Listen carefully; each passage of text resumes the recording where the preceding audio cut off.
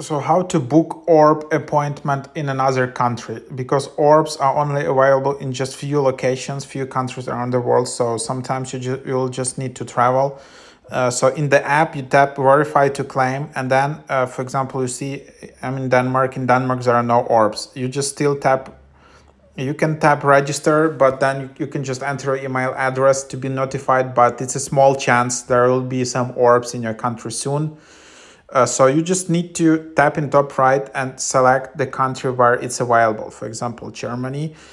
And then uh, you see, okay, this is available. And then you tap book appointment. And then here, there is some glitch in the app. You need to tap only use approximate in the bottom. Because if you allow location, the app will again show orbs only in your country.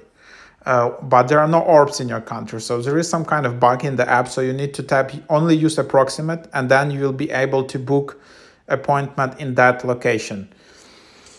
So there you have it. Mm, yeah, this app is being updated all the time and there are glitches and there are like different issues. So just that's what it is right now.